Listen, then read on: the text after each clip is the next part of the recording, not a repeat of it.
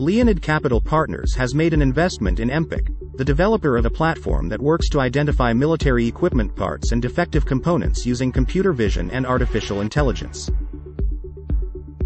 Comtech Telecommunications has secured a $45 million strategic investment from current shareholders White Hat Capital Partners and funds affiliated with Magnetar to boost its capital.